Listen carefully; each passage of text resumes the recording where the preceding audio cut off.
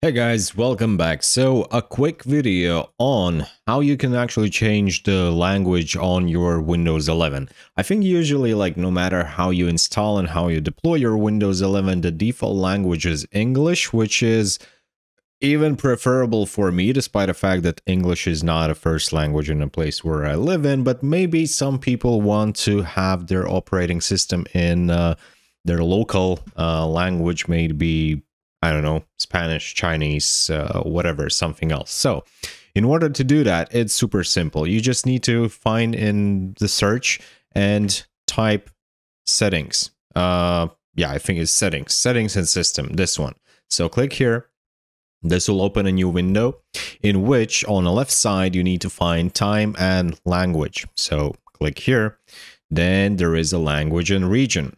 Here, where Windows display language. This is the one which actually controls the way like how you see all of this stuff right now it's written in English if you will change it to some other language it will appear in that other language so if in order I would want to change my Windows 11 experience to Latvian language, I need to click this. And then there's just one minor thing. You need to sign out, basically re-sign to your Windows account. So just click sign out. It's going to take five seconds. Then you log back to your computer and everything is going to be in Latvian or in some other language that you uh, that you choose in on your computer.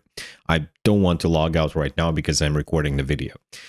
And if you want to add some additional languages, like maybe English and Latvian uh, is not enough for you, you just click on add a language and find whatever is uh, whatever you might be looking for. And then just go through the next, next, next, finish and the selected language will appear here as well. And then just like I mentioned previously, just select the language, do the re-login to your Windows and the magic will happen. Everything is going to work. So thank you guys for watching. Don't forget to subscribe and see you guys later.